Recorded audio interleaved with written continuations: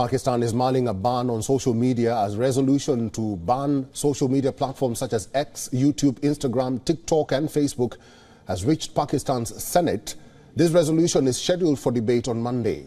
As per Senate Secretariat documents, the resolution is aimed at the younger generation for what it perceives as negative and devastating effects of social media. The Senator, Khan Tangi, formerly associated with the Pakistan People's Party, who moved the resolution. He was expelled by PPP last month. The senator was reportedly expelled for remaining silent in a Senate session last month. This was when independent Senator Dilawar Khan had moved a resolution for postponing general elections in Khyber Pakhtunkhwa and Balochistan. The resolution contends that these digital platforms are fostering norms contrary to the nation's religion and even culture.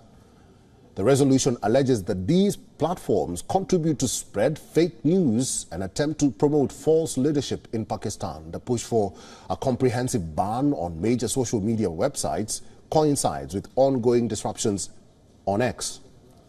There has been a widespread backlash against the judiciary and the establishment on social media following allegations of rigging in the general elections on February 8th.